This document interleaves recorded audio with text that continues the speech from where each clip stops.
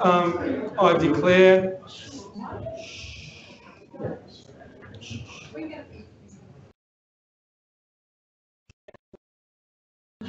Just trying to find my agenda.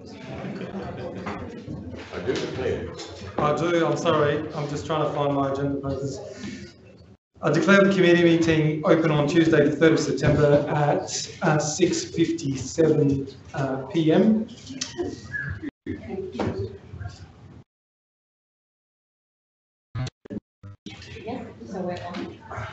The committee meeting open and advises that the meeting of the committee meetings be streamed live and recorded for publishing to the internet.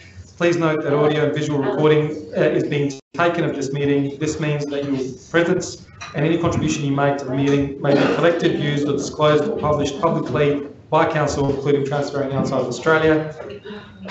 Council acknowledges that we're meeting on the traditional country of the Kaurna people of the Adelaide Plains and that pay respect to elders past and present. We recognise and respect their cultural heritage, beliefs and relationship with the land. And we acknowledge their continuing importance to the Kaurna people today.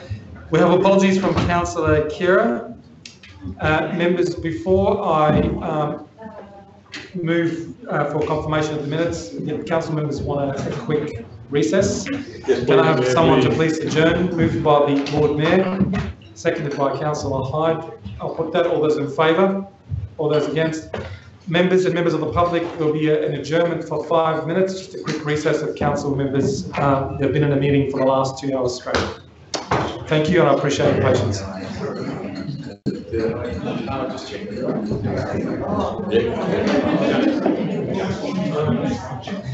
Yeah.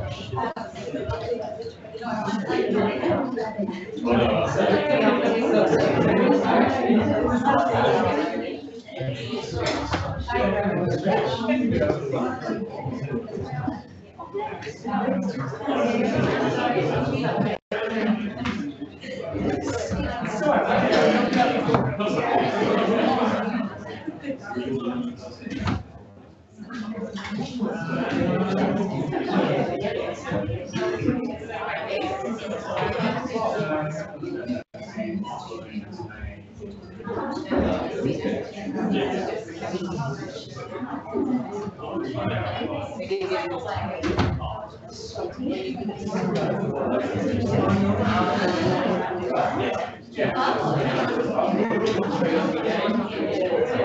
I'm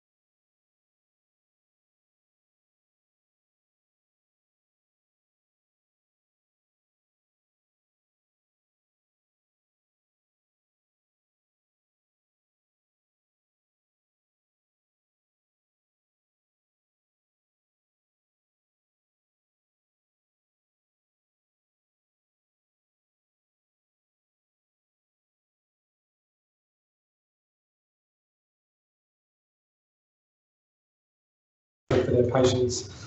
Um, we'll move on to item three, the confirmation of minutes. If I can have a mover, thank you, Councillor Simms. Can I have a seconder, please? Thank you, Councillor Hyde. Um, any debate on the previous minutes of the meeting on the 20th of August 2019? Be it that there's none, I'll put that to the vote. All those in favour? All those against? That item is carried. Move on to item four, um, and I'll hand over to the CEO. We're dealing with item 4.1 first. Welcome. A presentation on Lot 14 uh, Renewal SA. Through the chair, I'll get um, Clinton to introduce it. Thanks. Uh, through the chair, and uh, thank you, members. This presentation tonight is in relation to feedback we received from Council at its last committee meeting on the 20th of August. Um, Council sought additional information in relation to the Lot 14 redevelopment and how it relates to the public realm on North Terrace. Um, I'd like to welcome uh, two, two presenters tonight, uh, Mark Devine, uh, Acting CEO from Renewal SA, and also James Hayter, who's the Director from Oxigen Architects, who are the design architects for Lot 14, and notably also the design architects for the original 2001 North Terrace Master Plan. Uh, the presentation gives particular attention to how the development deals with uh, the council-owned assets on uh, North Terrace, including the footpath, road, curb, street furniture, landscaping and trees. Um, and I'll now hand over to Mark to uh, run through the presentation. Thank you, and thank you committee members for the opportunity to present this evening. Um, I'll give a short introduction about some of the bigger context to the master plan and the landscape plans, and I'll hand over to James to talk through some more of the detail which you'll be interested in. I think it's important to note that there's a bigger story tonight rather than just seeking landlord consent to remove nine trees. Um, and that, that bigger story really has its genesis in the move of the hospital from the east end of the city to the west end. What comes with that is the move of a significant amount of workers and daytime activity to the east end of the, to the west end of the city and leaves behind really over 20 obsolete buildings at that end of the city. That really creates an opportunity to reimagine how the east end of North Terrace will, will play a role in the city um, but also provides an opportunity for council to consider its own aspirations for this cultural boulevard um, and the role that Lot 14 will play uh, within North Terrace. Now I could just, I think that needs to be on slideshow and move to the next slide. So, it's key, so.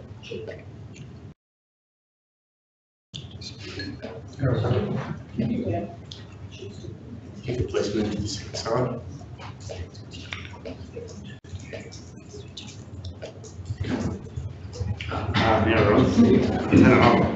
Thank you.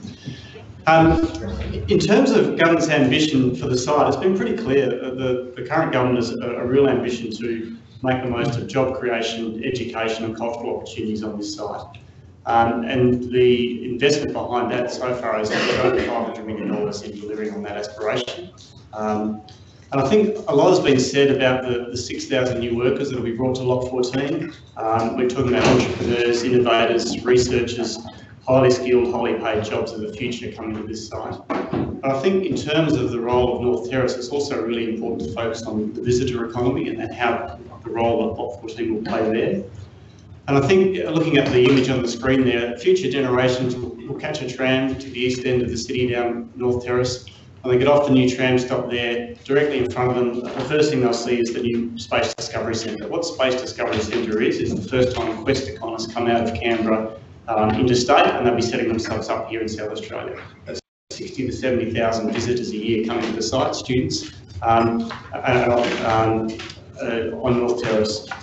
We also have uh, a future Aboriginal art and cultural gallery, which in itself is an investment of about $150 million and will be a major draw of tourists and visitors to the site. And I think for the first time, it's really important that Adelaide Botanic Gardens will feel like it's connected to North Terrace with the opening up of the boulevard.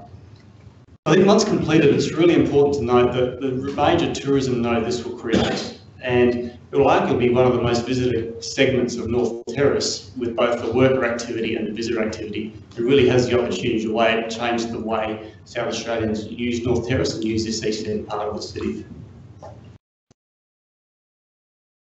If we look at the landscape plans itself, um, certainly the plans for us are, are, again, part of a much larger landscape plan for the site and a master plan for the site. Um, we certainly have a really good opportunity now to design the way North Terrace fits into the future use of this site. Um, We certainly we plan to integrate these works that we're doing now with our broader landscape works. Um, and it's certainly be very challenging for us to come back and revisit these works at a later stage once the current stage works are completed. Um, in terms of designing it, we've been we've been working with the Adelaide City Master Plan for North Terrace um, to guide us as the best guide we have as how what council's aspirations are for North Terrace. I think our aspirations are quite clear is that previously there was a significant amount of built form in the site. It was very hard to navigate your way through, it. We really want to open the site up to make it a, um, a really strong first impression, but also to be able to draw people into the site as major attractions and major new workplaces. Um, the master plan itself, from an open space point of view, built form significantly reduced. The amount of open space will increase from 20% to over 50%. And whilst we're proposing to remove nine trees on North Terrace, there'll be over 50 trees planted in the first stage of, uh, of landscaping alone. So a major reinvestment in, in, in the, the, opening up of the site and the landscaping of the site. So that's a very gen- a broader introduction to our master plan. I'll now hand over to James to talk to some of the more detail of the, uh, the landscape plan itself, particularly as it relates to council land. Uh, thank you, Mark, and thank you, Chair and councillors, for giving us the opportunity to talk to you about it. Uh, to me, it's such an exciting uh, opportunity we have here. Um, this is called Precinct 4 of a master plan that was started in 1994. So it's been many, many years coming about, and this is another piece in a puzzle of the North Terrace Cultural Boulevard. And I don't think we can underplay how important North Terrace is to Adelaide uh, and its reputation both in Australia and overseas. It's actually one of the great boulevards of the world and it's only getting better uh, in it. So this gives us a chance, I think, to uh, finish another piece of it. This is from the 1998 uh, North Terrace Precinct Master Plan, which set up the project and we're in uh, Precinct 4. This is from the 2001 uh, North Terrace master plan. So that was the original master plan that was done. So I was part of the author of um, preparing this. It shows a wide boulevard. And I suppose there are two major changes which have happened since that was done. One is that the hospital's moved, uh, which is a fairly major change, but also the tram has been uh, put down North Terrace. And that wasn't envisaged, of course, back in 2001 and that has had an effect on the planning of it. In a sense, the tram's great, it's a destination, it takes people there, but it also blocks the two sides of uh, North Terrace from each other. So it's got its positives, great positives. There are some negatives associated with it, which uh, weren't reflected in the original master plan. The two documents, which again are policy documents, which sit alongside of the North Terrace master plan, uh, an original one, Street Squares and Parklands, which was written back in 1998, and then the Adelaide Design Manual, which uh, sets policy for North Terrace. So Street Squares and Parklands identified North Terrace as a ceremonial boulevard. So King William Street, North Terrace were identified under that report. And then the Adelaide Design Manual reinforces that in terms of the detail both of those reports prioritise pedestrian experience within the city and the uh, CBD, and they recognise North Terrace as a place for public ceremony and event. The master plan for Lot 14 incorporates the North Terrace footpath as an integral part of it. The diagram in the top right shows how Lot 14 is connected into the city itself. It's a major destination and part of how the city works and is structured.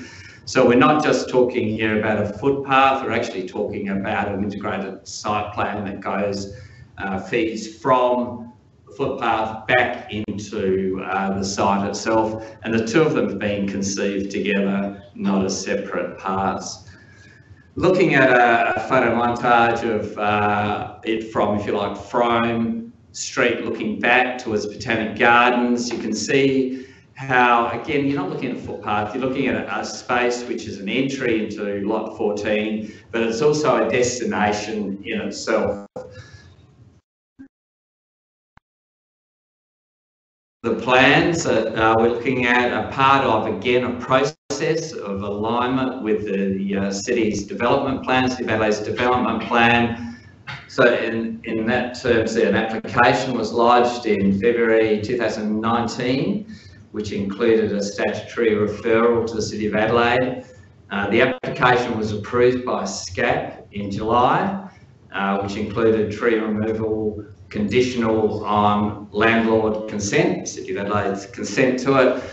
The desired future character or character statement in the uh, development plan and the applicable objectives state and call for an improvement in pedestrian amenity and pedestrian access is a priority and the proposed public realm including tree removals is fundamentally about improving pedestrian amenity and access in the city. Looking at the um, existing condition of the footpath, that um, the existing pedestrian crossing from the tram and across, if you like, the barrier that the tram creates from the um, south to the north side of uh, North Terrace is encumbered uh, by trees, by furniture, planting beds and service cabinets. So when, for example, the infrastructure for the tram was put in, it was put in for the existing situation, not for a longer term situation, which matches, if you like, the cultural um, boulevard. Looking at uh, the intentions of uh, the proposals, they're about improving pedestrian amenity, um, this is important, just explaining where the existing bus stop sits outside the Sheridan and uh, Women's Health. So the North Terrace curb is cut in for the bus lay-by. The intention is to widen the footpath at this point and to uh, leave the bus stop in its current location. DPTI prefer this arrangement uh, the buses actually find it really difficult to get out of the bus stop back into the travel lanes. So it's preferred to, uh, to take them out and through that.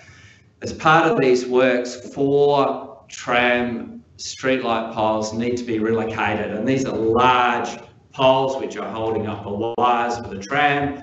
And part of the works will relocate those from where they would sit, you can see from the photo, in the centre of the footpath to the edge of the footpath wouldn't work if they were in the uh, centre of the footpath. So those works are proposed as part of these improvements to the footpath. Looking at the other end of it, the east end of it, the curb is reconstructed along the existing line of the curb. You can see the tram there the footpath width is increased to 4.5 to 5.6 metres and that's from the edge of the tree grate for new street trees. So the footpath's actually wider than that, but there's a 4.5 to 5.6 unencumbered space, which is intended for both uh, pedestrians and cycling the cultural boulevard section between Kintore and um, Frome works really well as a shared use space. So cyclists use it, access to the university uses it, and pedestrians uh, use it. Looking at a cross section through that, it indicates where the line of the existing elms are. The intention is to replace that single line with a double line of semi-mature trees a commitment's been made by Renewal um, SA to plant 6.5 metre high trees in their place. The difficulty in terms of uh, the footpath comes through a change of level on the property boundary with the existing retaining wall and then the location of the Sheridan building uh, itself. So 10 mature elms and one semi-mature plane tree are proposed for removal. Looking at uh, the intention of it, this is showing the two lines of uh, new trees. Uh, new granite paving on a concrete slab is proposed. Uh, why emphasise this is the uh, Cultural Boulevard section was not, all of it was put on a concrete slab and a lot of it's failed.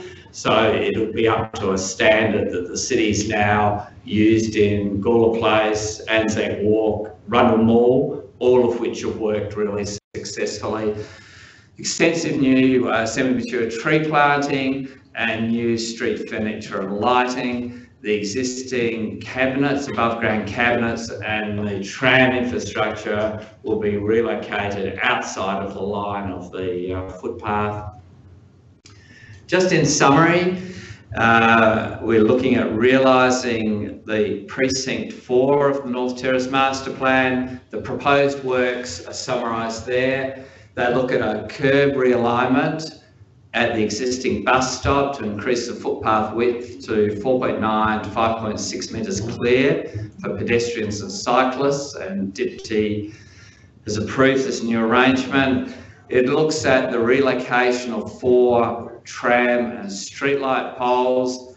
I emphasise that because it's expensive to move them, uh, but they'll be moved as part of these works. The tram and other service cabinets will be relocated to unencumber the footpath. Uh, the location of new street furniture is consolidated, new granite paving on concrete slab to the City of Adelaide standards. Nine regulated and one significant tree are proposed for removal. In terms of the removal of the trees, the difficulty with these, these trees is that they are going to die at some stage. Uh, when, we don't know. We've got two different arborist reports, which you would have seen in through that, they will die at some stage. The difficulty with them is they're not going to all die at once. Uh, they're going to die when, when they will and through that, the difficulty is when do you take them out? So whether that decision is made now, it's made in five years' time, or 20 years' time, or whenever they die, it's difficult to know. But at some stage, they will have to be removed. 12 new street trees are proposed to be planted within the verge, and there are 29 other new trees which are planted within the lot 14 uh, if you like, the curtilage to lot 14. So it's a total of um, 41 new semi-mature trees proposed for planting uh, to realise the uh, these works. Thank you. Thank you very much for your presentation. We'll take some questions from elected members. Councillor Simms. Thanks very much for um, coming to speak to us. Look, my questions mainly relate to the significant trees. Um, I understand there's more to the project than that, but I, I, do want to ask a few questions about that.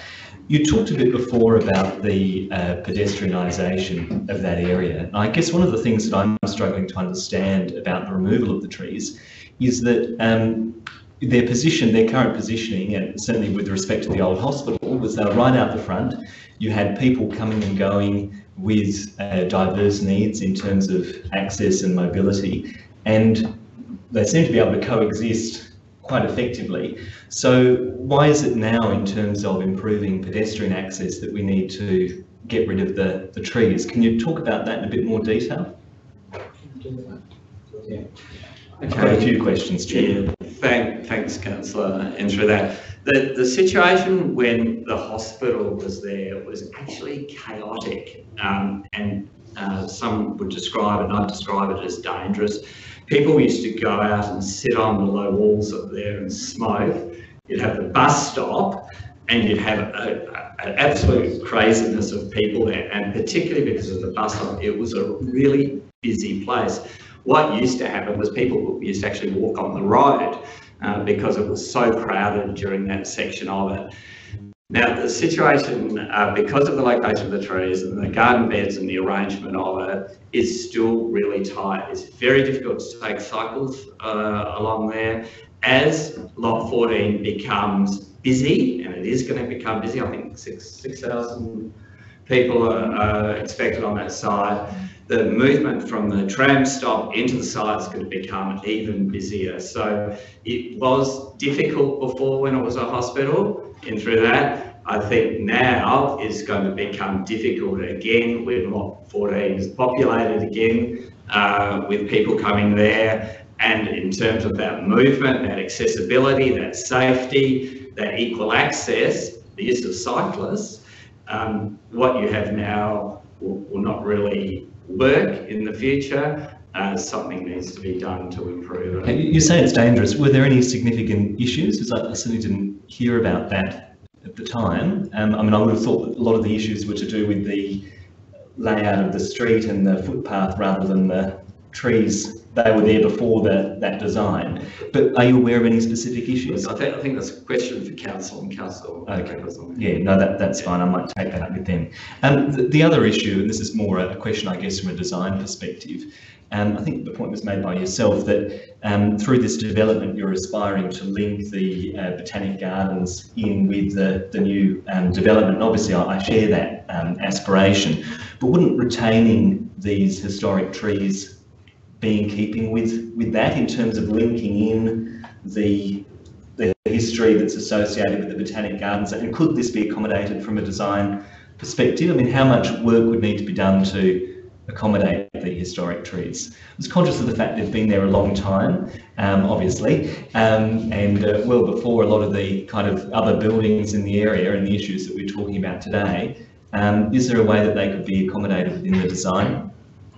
I think um, one of the challenges with retaining them is that um, one of our key goals is to get the uh, footpath re-established and to uh, establish that with the new guidelines, which actually in terms of what we need to cut out, but actually damage the roots of the trees um, to establish the foundation for the new ground pavers to go in. So um, if you were to retain the trees there, it would actually question the viability of actually being able to replace, replace the pavers at all.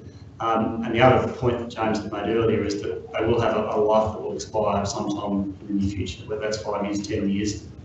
The trees will tell us, the reports, and the, the opportunity is to replace them now with a, a broader piece of works. To do that on a staged basis in the future will be very challenging.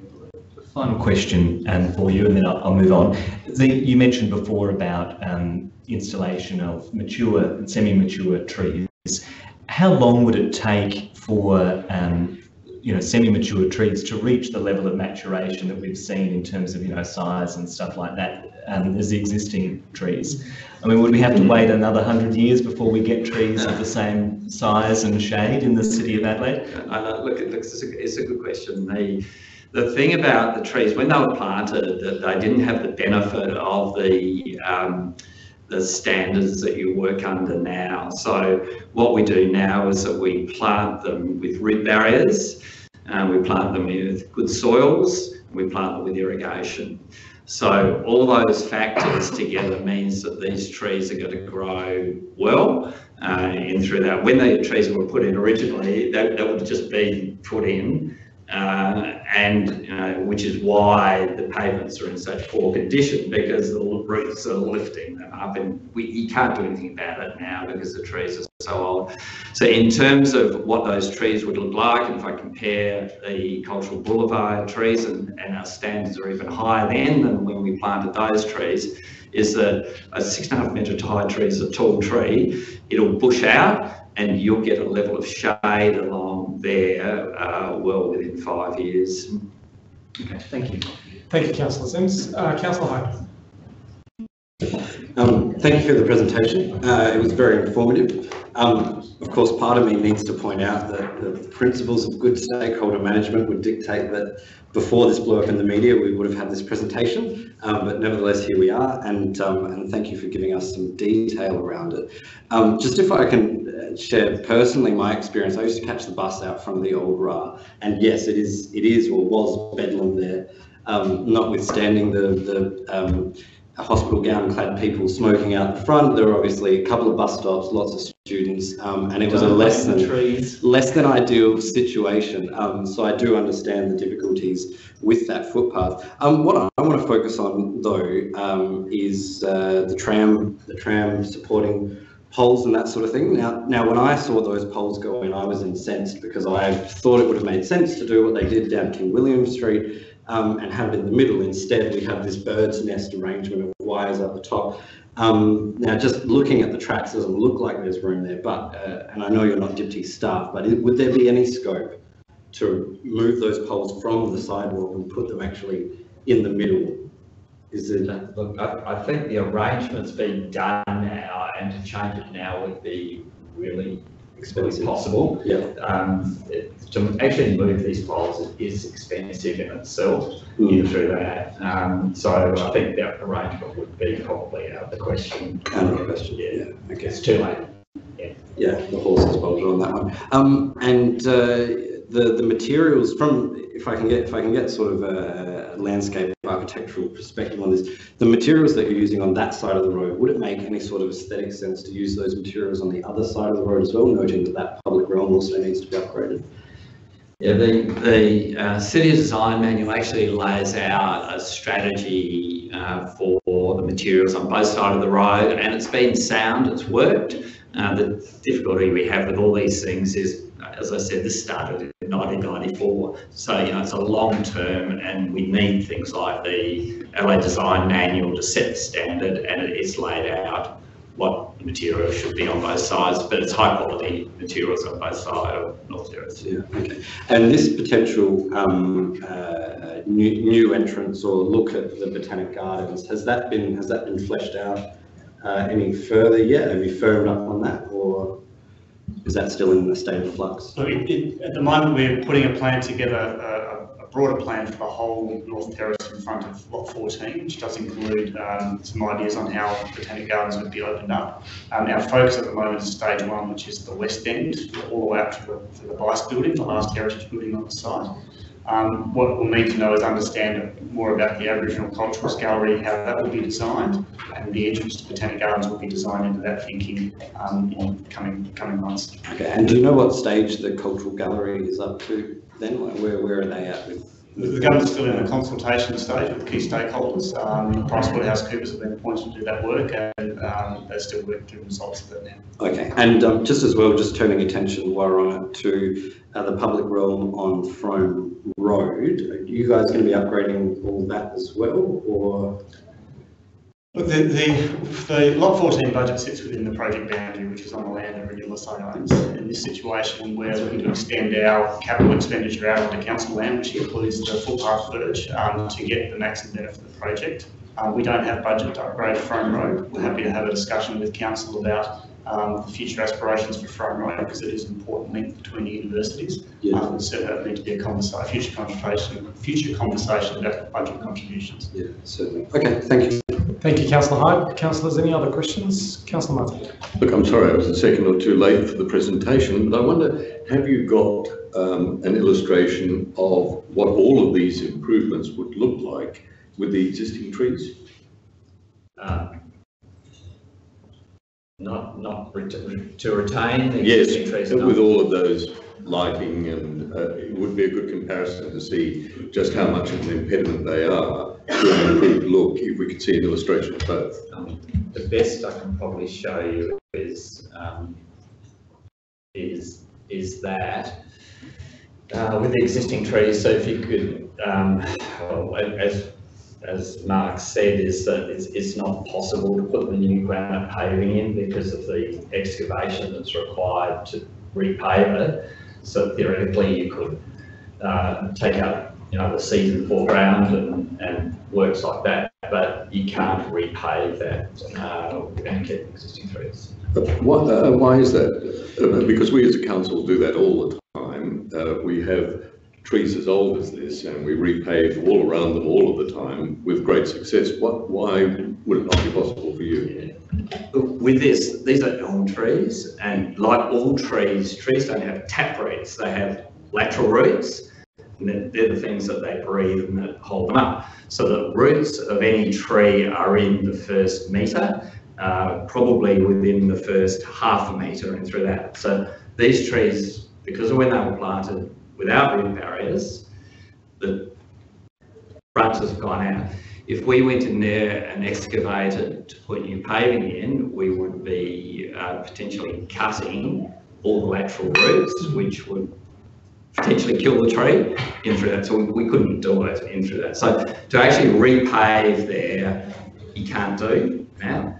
The uh, elms that you've got, and elms are a difficult tree because of Dutch elm disease in through that. Uh, these ones have had branches fall, you have to manage them and the city manages them as well as they could. The elms that you've got are in grass, so you'll find them in the parklands and through that, uh, Prince Wales Gardens. So there are elm trees in the city, but I think you'll find most of them I can think of anyway, I can't think of any in paving, are in grass, which is a different situation. If you're in paving, it, it's, it's harder for the tree because it's got to set out its lateral roots to get water and they go out further.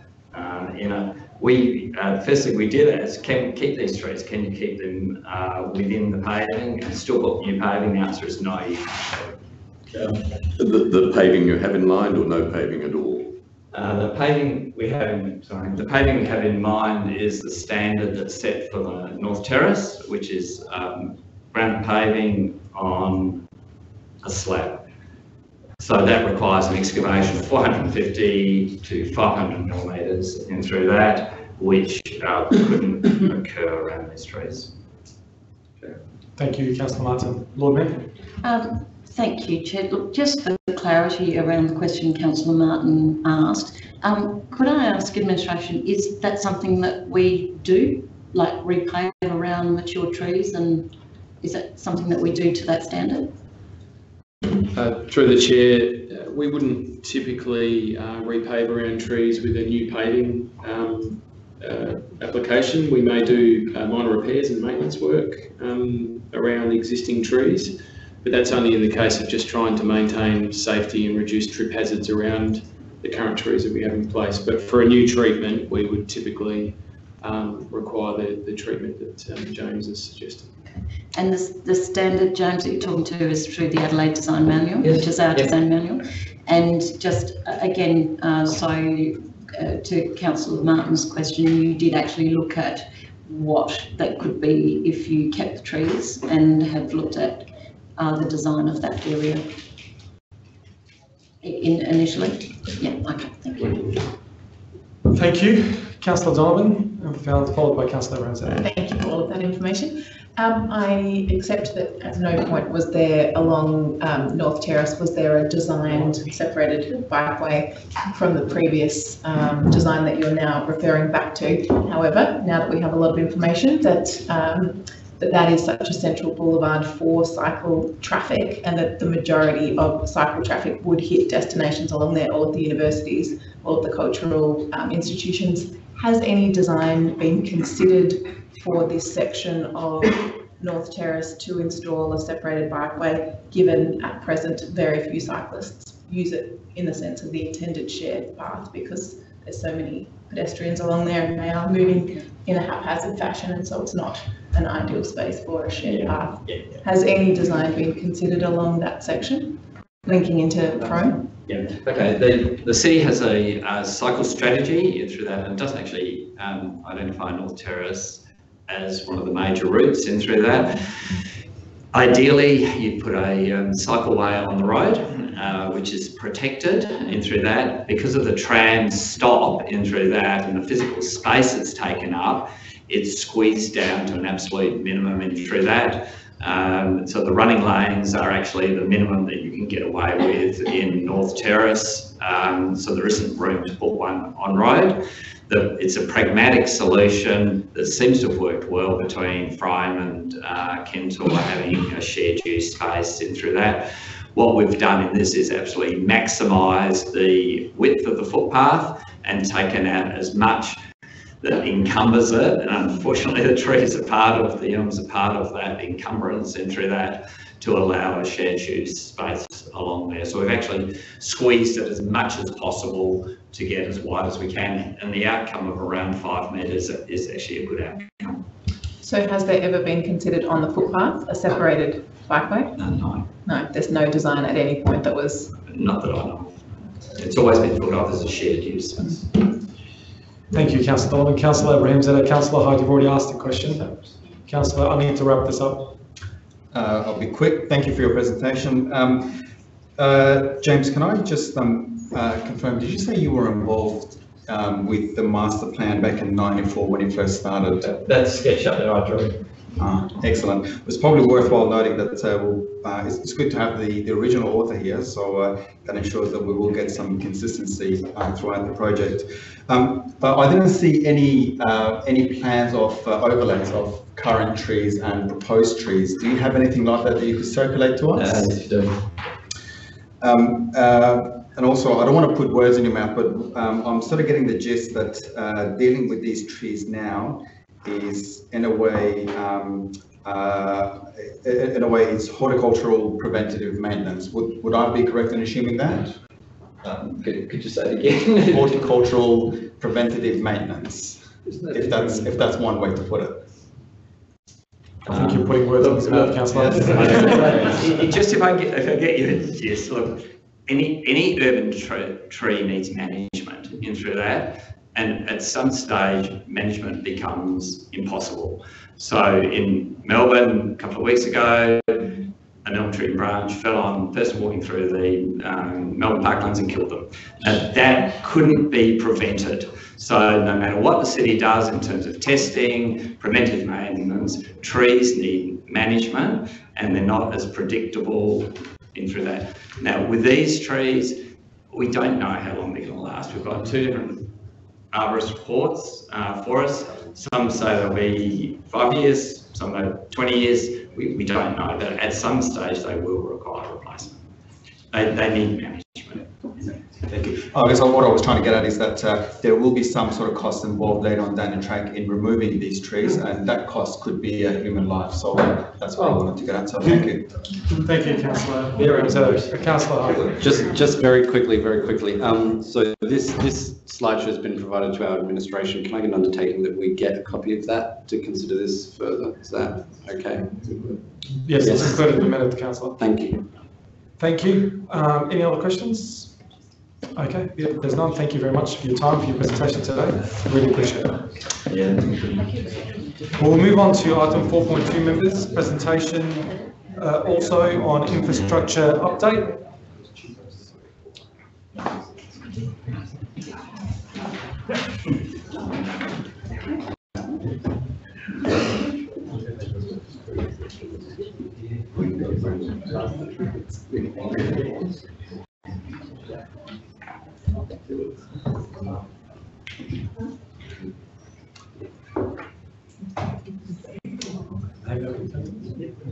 Clinton, thank you. Through Chair, and thank you, members. Um, We have uh, an infrastructure update for you, um, in particular relating to the heavy vehicle bypass requirements. Um, This presentation is to provide an operational update to council on information relating to the management of our three bridges in the city. Um, Two of these bridges, Albert uh, Bridge and the Adelaide Bridge, are state heritage listed. Um, each and every week, we have requests under the National Heavy Vehicle Regulator. Uh, they come to us for heavy vehicles to access the city. On all occasions, we, we avoid our bridges and we, um, in most cases, disallow these vehicles to enter the city. What we're informing council on tonight is our more permanent control measure um, in relation to heavy vehicles ac- accessing the city. Uh, Mason Willis is here from our asset management team and he's got um, some information to present to you to explain uh, exactly what we need to undertake. Thanks, Mason.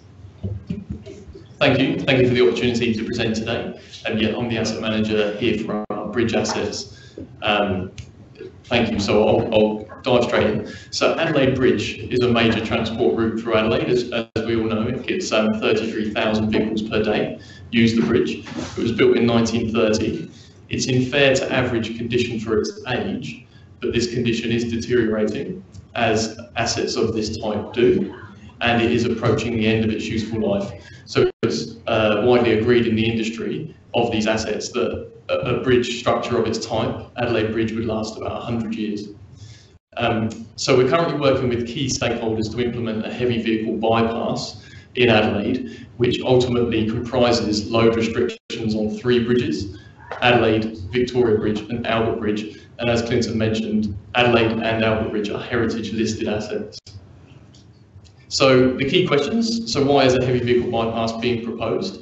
Um, each of the three bridges currently permit modern vehicles that weigh far more than what they were designed to take. So if we use Adelaide Bridge as an example, built in 1930, the vehicles that currently use that bridge didn't exist then, so modern standards have changed. And as such, as an asset manager, we have to think very carefully about how the asset is used. Adelaide Bridge is nearing the end of its useful life. It was constructed in 1930 and the condition is deteriorating. So what we're proposing here and what is required is a key risk mitigation strategy. What vehicles will be impacted? It's expected, anticipated that heavy construction traffic and special vehicles over 26 tonnes, so normal cars, buses, emergency vehicles, waste collection vehicles will not be affected. What are the benefits of a heavy vehicle bypass? It will enable the council and the administration to manage these assets, complex assets, over the remaining years of their life. Um, it will also, very importantly, improve the residential and commercial community of North Adelaide by redirecting heavy vehicles to the ring route which exists around Adelaide. It's called the R1 on some maps. Um, what community engagement will take place? A communications plan has been developed to explain the heavy vehicle bypass and communicate its purpose, and this will include relevant government agencies and industry. So, a bit of background to where we are today. In 2016, a load rating assessment was undertaken by GHD, an external technical consultant, and it identified a potential risk uh, presented by Adelaide Bridge compared to modern standards. So the vehicles the bridge were, was taking um, uh, culminated in a risk to council. This is not what it was designed to take. So a load restriction of 26 tonnes has been recommended for the bridge as a risk mitigation strategy. Um, so as a means of limiting the heavy vehicle use of council-owned bridges, a heavy vehicle bypass will be implemented on Adelaide, Victoria and Albert Bridge. So just to give you an idea of what is allowed, current vehicles, the, the Bendy bus, which is the largest of the buses, uh, the ambulances, the image on the right there is the heaviest fire service appliance that they have. That's their crane vehicle that weighs 26 tonnes. So these are permitted, these aren't affected. But what we're really looking at here with this load restriction are vehicles such as these, but not limited to these. We're really trying to target heavy vehicle, heavy construction traffic, traffic that we can say quite clearly and defiantly that we don't, we don't need, the, the bridge can't take these, these, these kinds of loads, freight, heavy freight.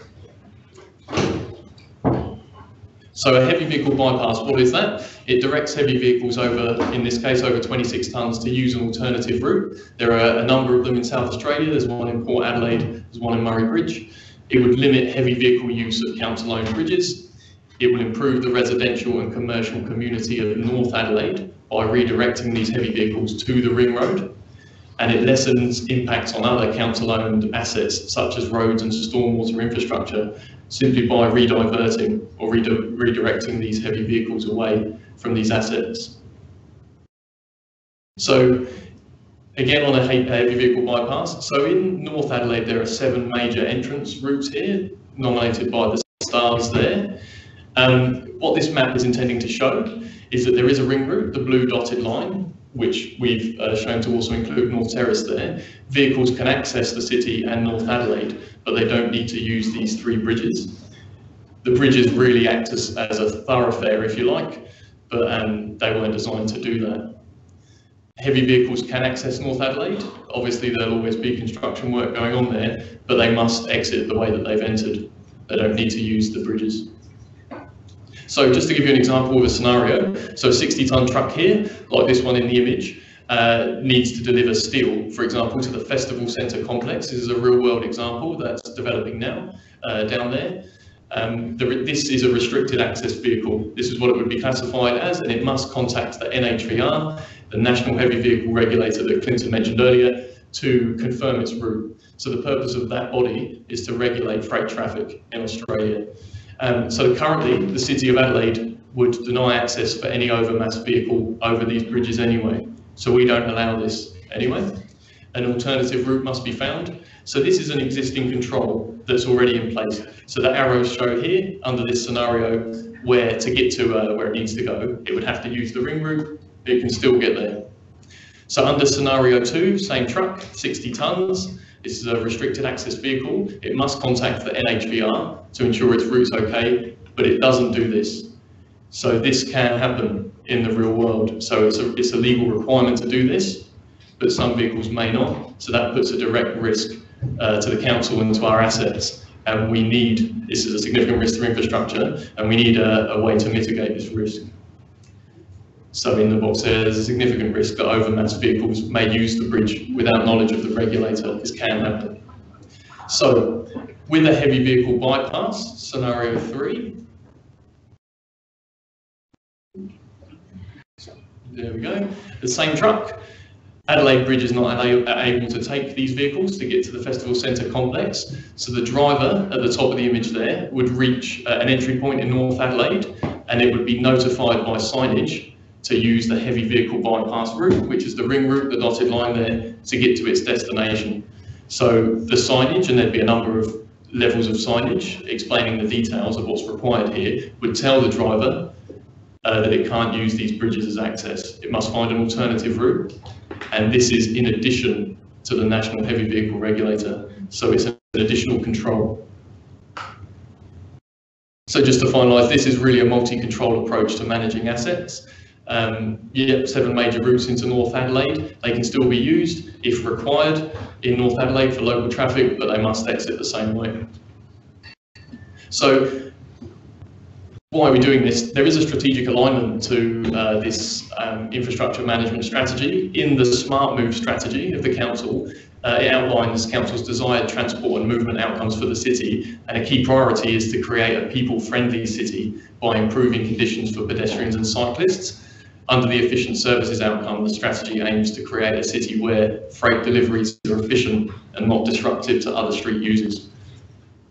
Uh, the North Adelaide Local Area Traffic and Parking Management Plan.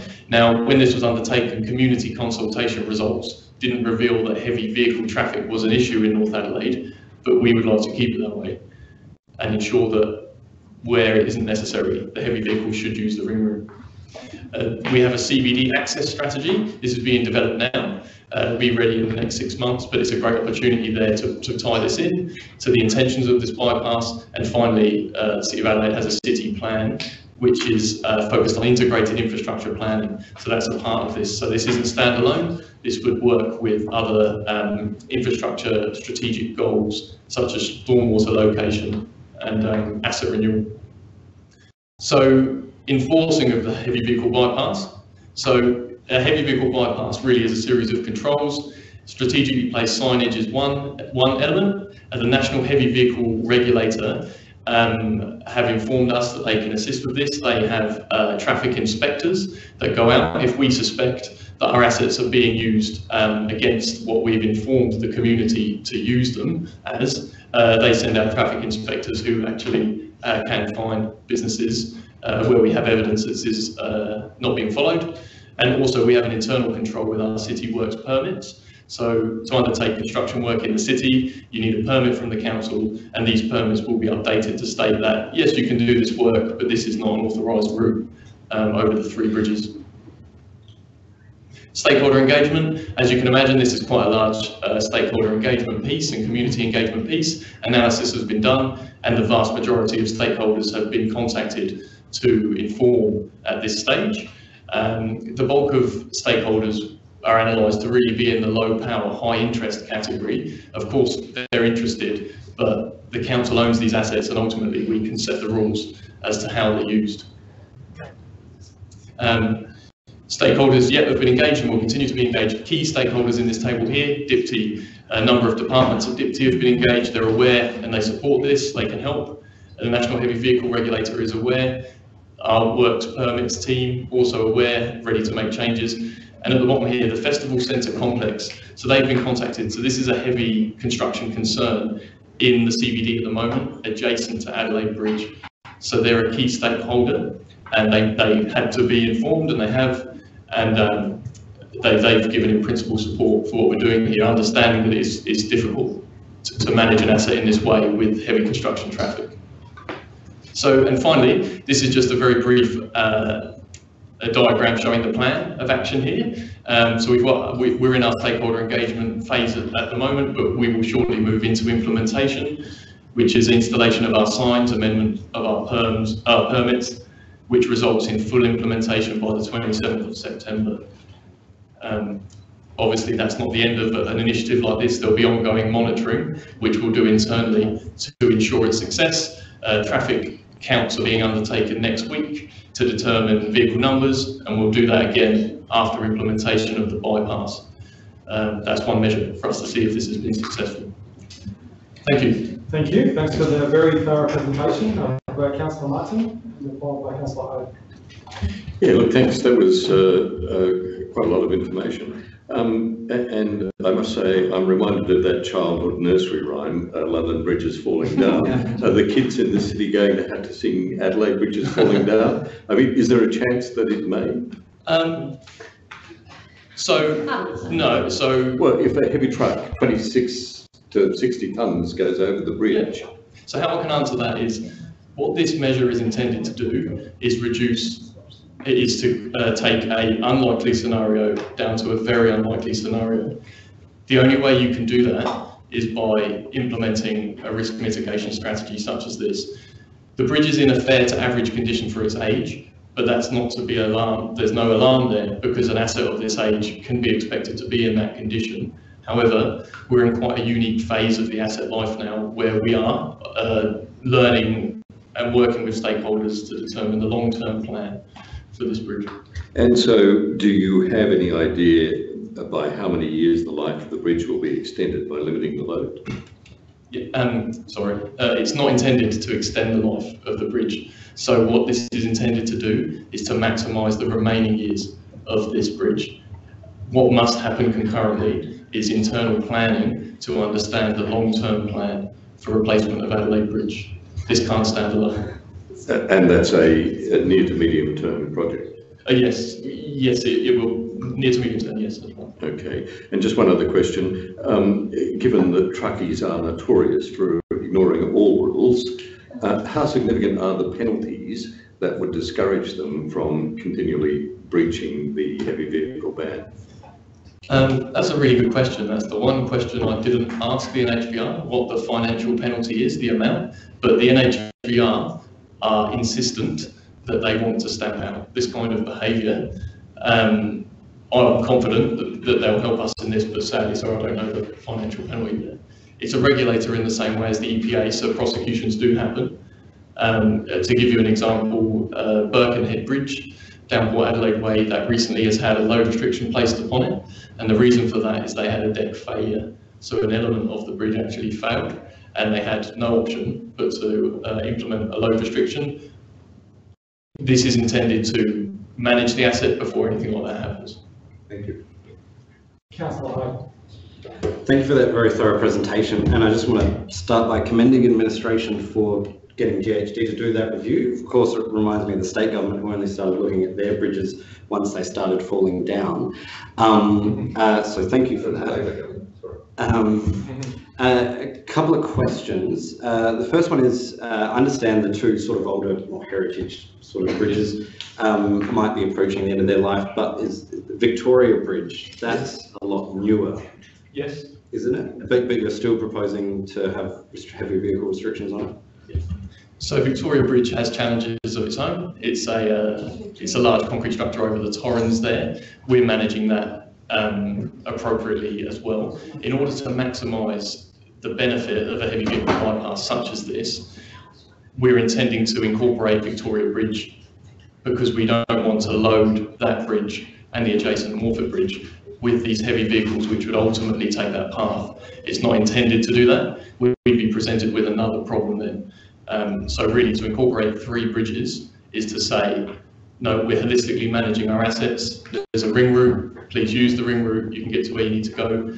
Um, the benefits outweigh the, the potential uh, uh, inconvenience. Yeah.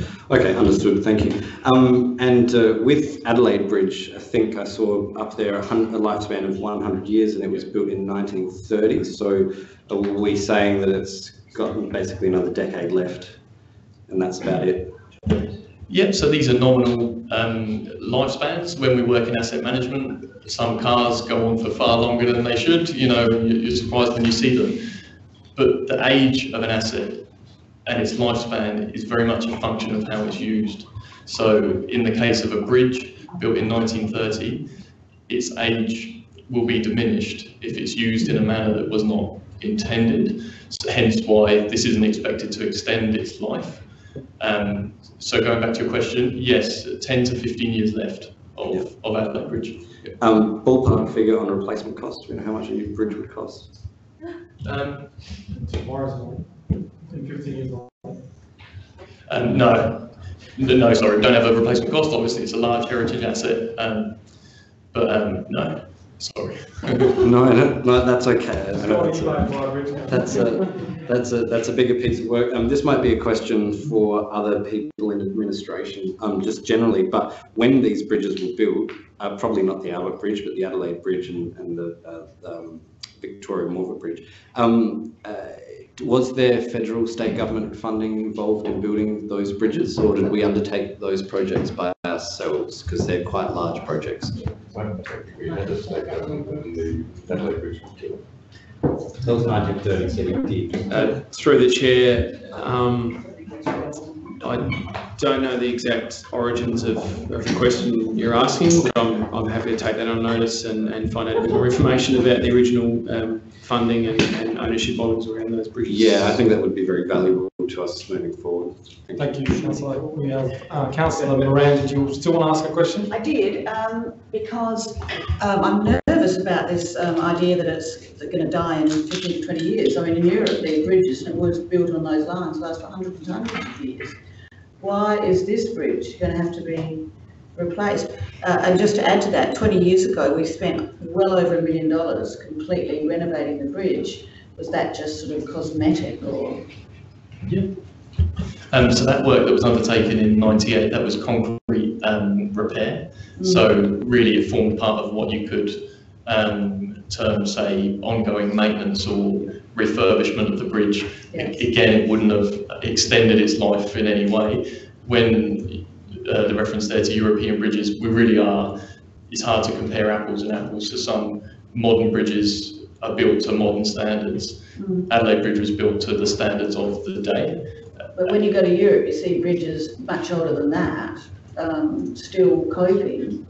Yeah, yeah, and a really ours going to? Yeah. So a really good example of that, which is in the news recently, is the Hammersmith Bridge in London. It's just been closed.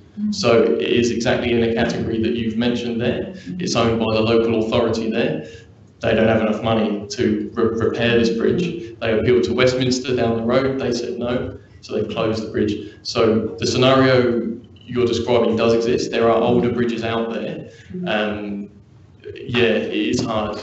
I mean, we replaced all the under the slate, we redid all that, put new slate on the thing, which was a really extensive thing. Anyway, that's the idea. I'm very, we'll argue that in fifteen to twenty years' time. Yes. But it was a big, um, big project. Um, I agree. Councillor Moran, are you ask- making a comment or a question? A comment now, the uh, trucks down um, O'Connell Street are, uh, are causing a problem, so I'm glad that they're being rerouted. Um, I had my car all ripped off by a, one, the one they showed there, Um, so I'm glad they're, I'm glad they're going. Um, but, uh, yes, we need to, would, do you want the businesses to report or anything like that? Um, Um, perhaps surveillance of trucks going down there, because they scream down there. Yeah, so I suppose it's important to note that it's not a ban of heavy vehicles in North Adelaide, but it's a redirection where they don't, if they're using North Adelaide as a thoroughfare, that's the behaviour we're trying to stop. There's a certainly are. Okay, yeah, so with this, this is a benefit of that. In terms of businesses, it's it's a tough one that, because um, unless they're in direct violation of what we're trying to impose, a heavy vehicle can be in North Adelaide, it just can't use the bridge if it's over a certain weight.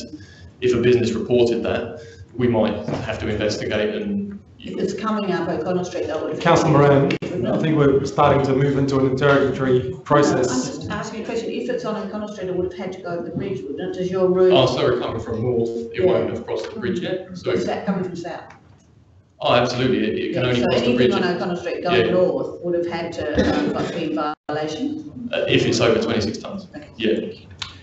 Thank you, councillors. With that, we will conclude our presentation. Thank you very much. Very well done. Thank you.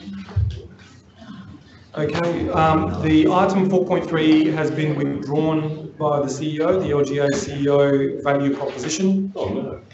Uh, yes. Yeah, I was counting on that one. Uh, were you excited about it, councillor? I can bring it back if you want. Oh, no, bring it back. Um, yeah, so the CEO decided to withdraw that. So we'll move on to item four point four, the implementation of the sustainable event guidelines. That's something that has already uh, come through council. Um, I'm happy to take this presentation as read uh, if all councillors are prepared to go through it. It's completely up to you. It's something we've seen already. So, um, you happy to uh, move the, um, this is just a, No? there's nothing to move, councillor. Did you have any questions? It's been- Okay, any questions, members? We're very sorry to keep you with us.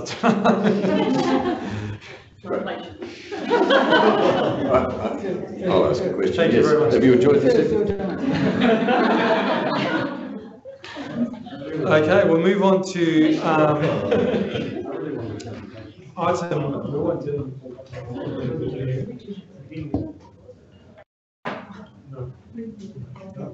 So item four point five, uh, City of Adelaide lighting strategy, that's also been withdrawn by the CEO. Oh, no.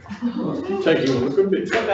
Councillor Moran, would you like me to, would you like to bring it in, is that? No, no, no. Oh, you're not complaining, are you? Okay. I'm. Okay, we'll move on to item five, uh, five point one, strategic property matter, the unsolicited proposal, status update, and I'll hand over to the CEO for a quick preamble uh, before we, um, deal with this item. Okay, thanks, through you, Chair. Um, This is an opportunity for council to publicly note the progress of the unsolicited proposal and um, one that's been put forward by the Adelaide Football Club. For the record, we're now progressing stage two of that policy. And um, I must I recognise there's been a, a degree of impatience of not yet providing information to our community. Uh, I recognise that.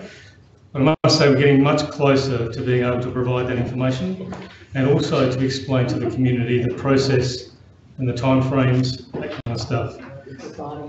This is, as you know, the very first proposal being processed underneath, under the provisions of the unsolicited proposal policy. And that was, you know, adopted by council over 12 months ago. Um, we're now at a point where the Adelaide Football Club have advanced their concept mapping or their planning. And I anticipate they will formally lodge the concept plans in the very near future. Um, I stress that, you know, a lot of work will be undertaken by council prior to any decisions being made. Um, but the, the intent tonight is kind of threefold. First of all, just to note the progress of stage two of the unsolicited proposal process as submitted by the LA Football Club. Secondly, to note that the needs analysis is being undertaken on the future aquatic facility requirements. And thirdly, that we note that the community engagement proposal is being developed that's going to be used for community engagement and that'll be formally referred to you for endorsement. Um, just to clarify with you that community engagement will occur when we've got, when we've fully, uh, when we've actually received a formal proposal from the Adelaide Football Club and that when we've agreed the community engagement plan, that's when we'll commence the engagement process. Um, once the needs analysis has been undertaken and we receive feedback from our community, council members will be in a position to make an informed decision at that time. And I'll stress that should the concept be considered acceptable to council, as we've talked about, a full design, um, a, full um, cost analysis, and a business case and operating model will be created and, and determined uh, for you to consider. So there's a fair bit of work to be undertaken before any final decisions could ever be made. Um, but the, the, it's important tonight, I guess, to focus on those three key areas of, of the report um, for consideration. I do need to remind you of the confidentiality requirements. I just want to be sure that you don't inadvertently um, divulge any information that's been presented previously. But tonight it's fairly clear the three key items of consideration. Next year. Thank you very much, CEO. Uh, just one second, Councillor Moran. Um, members, uh, as the CEO stated, we have a recommendation before us at the moment. Uh, the recommendation is to note uh, both those stages, and um, I will firstly look for a mover and a seconder. Can I ask a question first? I want to take a mover and a seconder first to go into formal, and then there's an opportunity for you to do that, Councillor. Is there a mover and a seconder for this motion? Moved by Councillor Abrahimzadeh, seconded by Councillor Hyde. Do you wish to speak to your motion? Do you wish to speak, Councillor Hyde? Councillor Moran, you have the floor. Uh, well, okay, I, I might as well speak to the motion then. Um, Do you, turn, do you mind turning your mic on, please? Thank you. I won't be voting for this because while what the um, CEO has said that there'll be consultation, the consultation will come after a fully formed plan has been lodged. Now, I want to go out to my ratepayers in North Adelaide and ask them to have input into what we want the um, Crows to do. After all, they're the people most affected, the businesses and the residents in North Adelaide.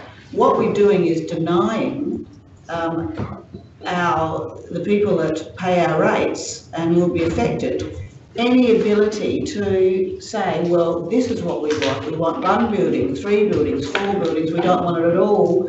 We da da da.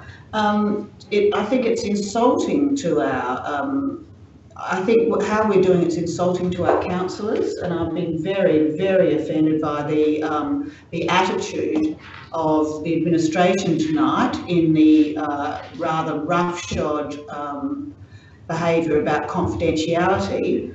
Um, and I think that we're offending our ratepayers by not bringing them into the cone. It is their land, it is their facility, and we are their representatives.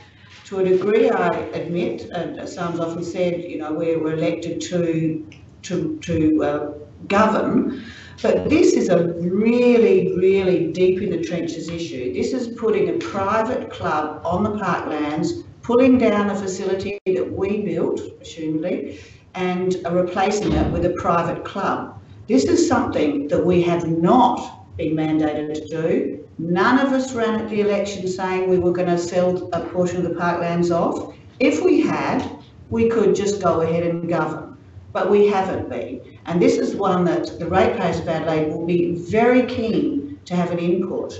Uh, and I can assure the um, the public that the councillors haven't had much of an input.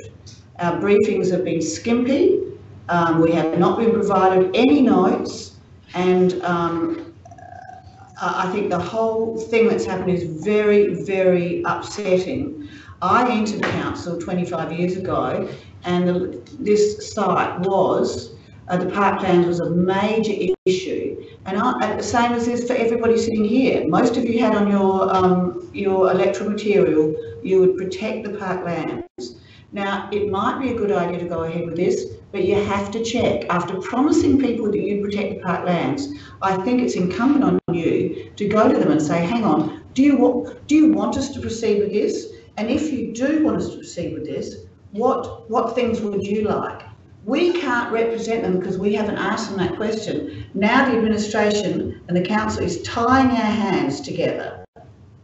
Um, I took a photo for my own use of, of uh, briefing that we had earlier so that I could read it at leisure because I cannot read 25 pages of fine print up there and make a cogent decision. I was reprimanded and basically accused of no. How is this relevant? It is relevant in how I feel about why we're keeping this a secret. Uh, and the attitude of the council is secretive on an issue that is of public parkland. It is the very thing we shouldn't be secretive of. The mm. other item, yes, we should be. That's commercial in confidence. This isn't. We only have one, one tender. So, um, and I regret the day that we were talked into doing this unsolicited bid. we thought it was dodgy at the time and it's proved to be a very worrisome thing. I think this whole process is disappointing. I urge you to vote against this motion and release the little we know to the public and ask for their views because you're just their representatives, you're not anything else. Thank you, Councillor Moran. Councillor Yeah, I'm also uh, not happy with how this has been um, been unfolding. I do want to put on um, record my concerns about the confidential way in which this has been handled. Um, this is, uh, you know, a proposal for a corporate takeover of a slab of our parklands, and I think we should be having those discussions in public. This is public land; it belongs to the people of Adelaide, and the people of Adelaide have a right to be consulted. And back in May, I proposed that before we went down this path, that we actually stopped and had a chat with the community, consulted with residents and ratepayers about what we should do. At the time, I was criticised and told that it was a stunt. It wasn't a stunt, it was a legitimate um, approach and one I think the community would have welcomed because it's public land, they have a right to have a say. And We've got a proposal for a corporate takeover of part of our parklands and the community are not even able to get access to the information about what's being proposed. And I think that's a real travesty for local democracy. And I think the unsolicited bid process has not been the appropriate mechanism to look at this. And um, it's hamstrung council. It's made it very difficult for us to have open discussions with our community. I'm also really concerned about this proposal and the fact that we're looking at uh, noting that we're commissioning a needs analysis whilst we're still progressing with this process. And my view is we should be pausing this process whilst we wait for the outcome of the needs analysis so that we know uh, what our needs are and the community needs are in terms of the uh, demand for the aquatic centre and recreational services. Why we would we be progressing um, something like this when we haven't even worked out what um, our needs are and the needs of our community are uh, is beyond me. I think this is a deeply flawed process. It's anti-democratic, and um, I think really we are flouting public opinion on this, and we've been turning up our noses. This council has turned up its noses to the uh, residents and ratepayers of the City of Adelaide. It is public land, and the public has a right to be consulted. Parklands belong to everybody. They don't just belong to corporations or commercial entities. And in fact, we shouldn't be giving away free land. So I'm very unhappy about this process and I urge councillors to think again before we go down this path. Thank you, Councillor Simms. I have the Lord Mayor, then Councillor Hyde. Um, thank you, Chair. Look, I, I uh, have actually spoken to some of the members as well about uh, wishing that we could go public right now. However, we are in an unsolicited bid process. It's an endorsed process by council. That is the process we're in. For good or bad, it's the first time we've actually used the unsolicited bid process because it's the first time we've actually had to be to have been approached by someone for something like that. I totally agree. It is public land and we will be consulting with our community as soon as we have a proposal. Uh, what we've seen so far is stage one, which is a concept, and we have not seen a proposal which will come back in. We do need to consult. It is public land. Everybody is completely mindful of that, but we are in the middle of a process a, that is a documented process and until we actually get to the next stage of that process we can't go public. We are bound by confidentiality and I would ask members to please be mindful that we are bound by our own policy.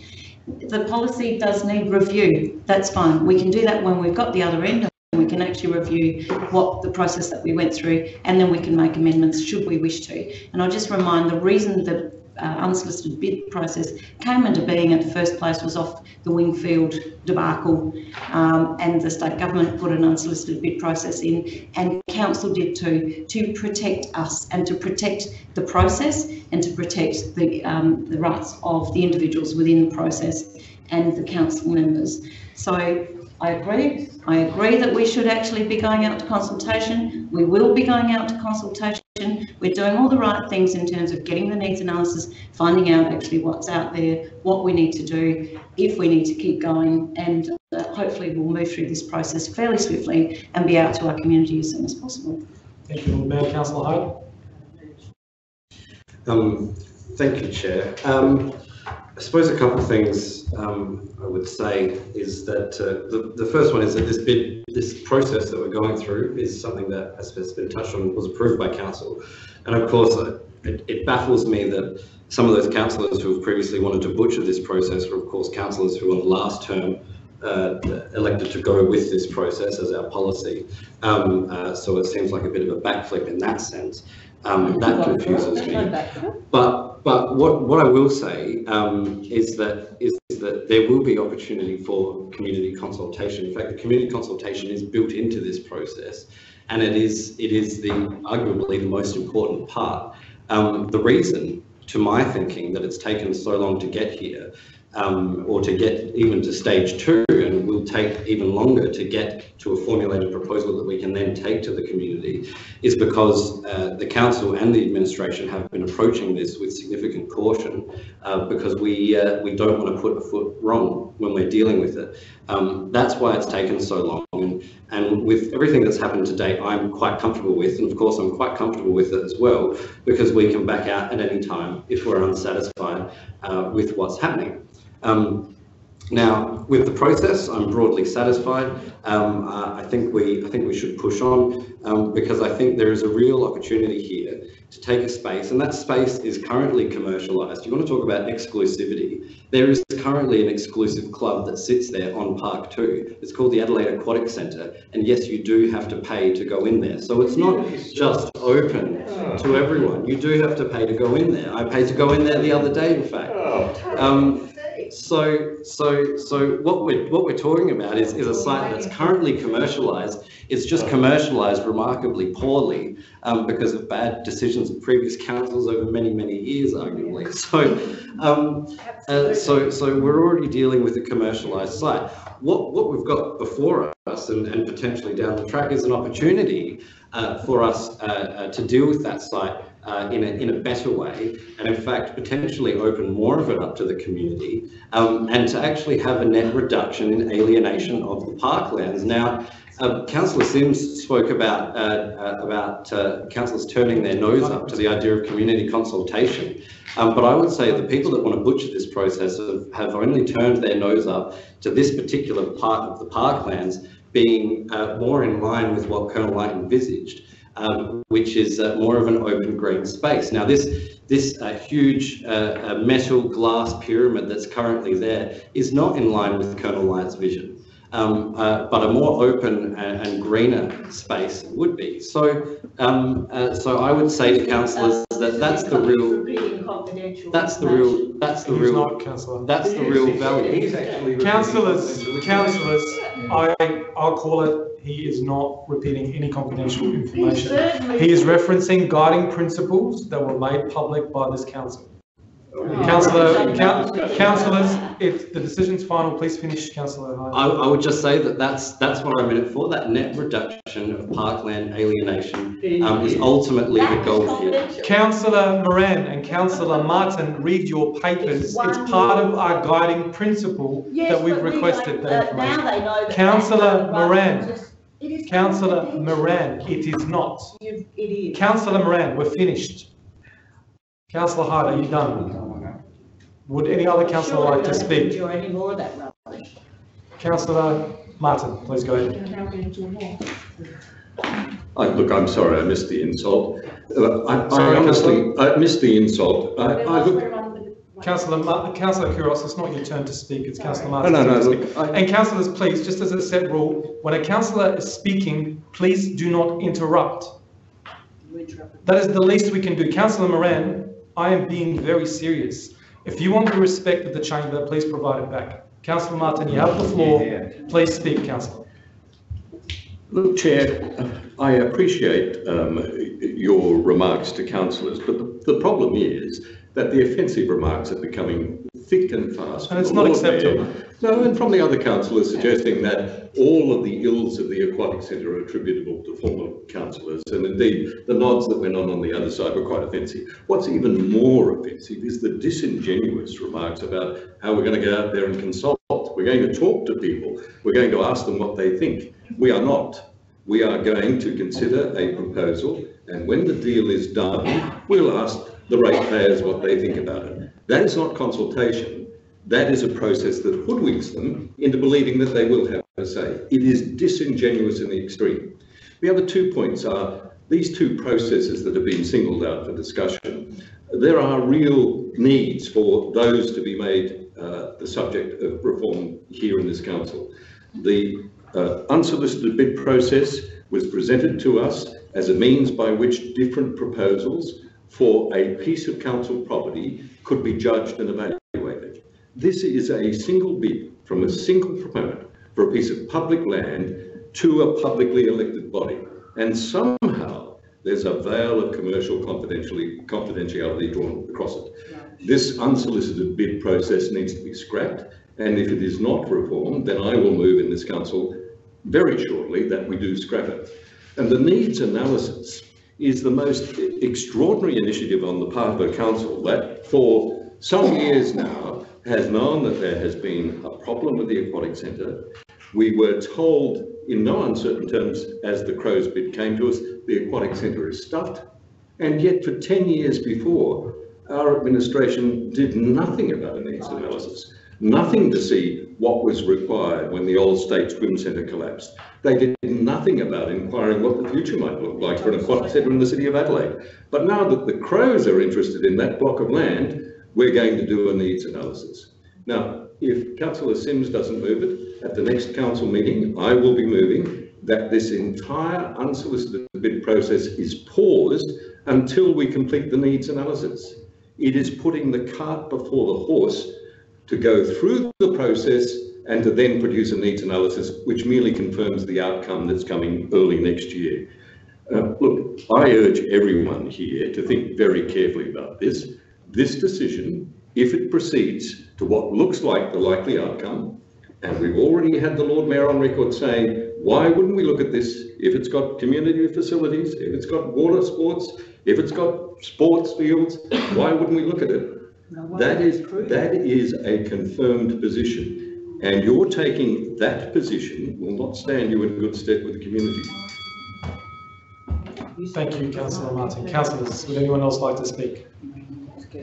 Uh, point of order, I actually think that me saying why wouldn't we look at it, which is actually what we are doing, the process that we are currently in. Lord Mayor, your point of order is, is, why wouldn't I say, why wouldn't we look at It it? doesn't mean you agree with it. You're saying That's why would we- correct. It's No, not saying we'll look point- at it. Point of, point of order, Chair. I'm, I'm being misrepresented It's here. not These- a, it's not a these are the predetermined words of Mayor, position, Lord Mayor, Councillor. Lord Mayor, you've called a point of order.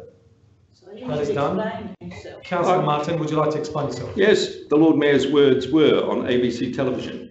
Quote, if it involves recreation and sporting facilities, community facilities, pools, AFL football grade ovals, and all of the sport that comes with that, then I don't see why we wouldn't support that. Not look at it, support that. That's our perception problem.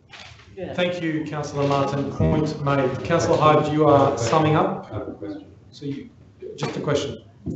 Uh, yeah, just a question of administration. Councillor Martin said um, uh, that we would not be going to consultation until the quote deal was done end quote. Can we elaborate on the unsolicited bid proposal and whether that statement is correct? Yeah, through the chair, as I said earlier, the community engagement plan is being developed. It will come to you for endorsement and adjustment as necessary. So we will identify the, the method and the extent of the consultation and you will endorse it before we commence it. So you are in total control of what we consult on, how we consult, for how long, who we consult with, all of those aspects are at your discretion. But, but, but, but crucially, we won't be signing a deal until that consultation has run its course. That is absolutely correct. Does that mean that Council- we won't have detailed plans before? we complete Councillor that? Martin. No, that's a Are question. you asking a question? I'm asking Through a the question. chair? I'm asking through the chair. All right, thank you. Is the CEO giving us an assurance that that consultation plan will go out before the elected body receives either publicly or in confidence the plans for the Adelaide Crows for that site? No, that's not the. No, I'm not, I'm not saying that at all. So we'll Councillor- formulate the consultation plan after we have the Crows plans. Is that correct? Councillor Martin. Well, that's exactly the point. No, so. It's not a consultation. It's not. Councillor Knoll, you have a question or would you like to speak? Question first. Sure. Um, With uh, this needs analysis, uh, is that, uh, would that not, if, would- that needs to be completed first? So in that case, one would assume that nothing's going to happen until that has come in, and we get to, dis- uh, we get to look and discuss it. In other words, is it not an effective, uh, you know, nothing will happen until that, uh, that is complete? Thanks, Tom. Through you, presiding member, that's indeed correct. The, the needs analysis and the process that we're undertaking will inform the, uh, the plan that comes forward from the, the proponent. Uh, effectively, there's no plan unless it can actually talk to what our needs are in regards to the centre.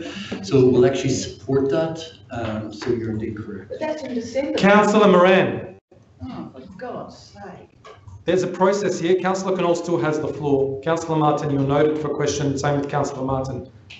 Councillor Simms, I apologise.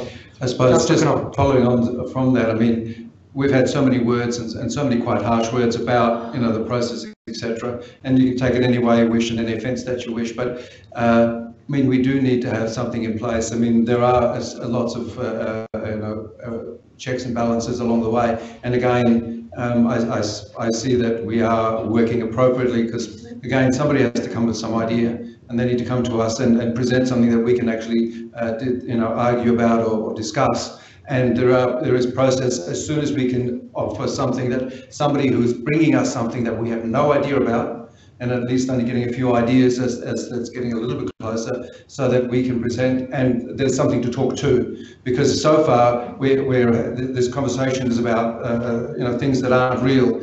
And I, I find that, you know, it's difficult because in, in business, you can't afford to play with, with, uh, you know, illusions. And I want to wait because of all the, the strong worded rhetoric that is just designed to get people in arms before we're actually able to come in and, and, and uh, uh, talk to them and with them uh, in a way that they can now comment and, and give us some direction as well. I mean, we're here for the for the public and also for the uh, for the good of uh, you know the whole so that we do deliver things that are you know needed, wanted, and also that are, you know, can fund and assist us to provide service. Thank you, Councillor Knoll. Councillor Martin, followed by Councillor Simms. You've got a question, Councillor? Yes, I do. Thank I do. It, it's further to the administration's comment. By way of background, last night we received a presentation from the Adelaide Crows here in this room about their intentions for that site. And they were going to continue, yes, it was last night. Oh, sorry. To, to continue to make plans to present to council. Is it the case that the administration is saying that their plans will be informed by the needs analysis, which will not be available, we know from the motion of council to December. So we're expecting the Crows to stop their planning process until they have the information available to them in December? Or are we saying, go ahead and plan, and then you can have a look at the needs analysis in December and see what that might do to your plans? Through you, presiding member, without breaching confidentiality, uh, the, the needs analysis is part of a process where we need to understand, uh, based on council's guiding principles, how a, a new contemporary aquatic centre recreational facility would look. The, the reality is the proponent is working on a scheme. Part of that scheme is naturally what a new recreational facility looks like. And without that information, it's very hard for them to finalise that in regards to. However, they can work in parallel in regards to pieces of work that they can continue with, which they certainly know or can control, or what they know that they wish to deliver. However, the recreational side is in our hands through our needs analysis to be able to inform the process. Once that's done, you will have a fully completed, formatted plan that can be presented back to council for consideration. Thank you very much, Tom. Councillor Simms. I'm sorry to labour the point, Chair, but it is important to clarify because it's a it's a key issue. So just so that I'm very clear, it's not correct to say that the Crows, that this process is paused whilst council is doing the needs analysis because the Crows will still be progressing other elements of the project, just not those that relate to the aquatic centre. Through presiding member, again noting confidentiality, what was presented last night effectively talks to in part of what they're thinking about to meet council's guiding principles. They have notionally talked about what they're trying to do in regards to community recreation. But again, that has not been finalised and it cannot be finalised until we actually undertake that needs analysis. And part of that is also to communicate and consult with our community. I'll talk to administration offline about the needs analysis and how we might finesse this so that it's clarified going into councils. I think I'll, I'll try to move a variation next week. Thank you, Councillor. Councillors, would anyone else like to ask any questions or speak? Okay, be it that there's none, before I hand over to Councillor Hyde to sum up. Um, did you want to speak, Councillor? I apologise. I need to sum up. No, he- Oh, sorry, I apologise for that. Look, I'll just briefly make a, uh, a couple of points. Um, just a bit of history for some of the elected members that have been here, although the Lord Mayor did point uh, about the Wingfield process.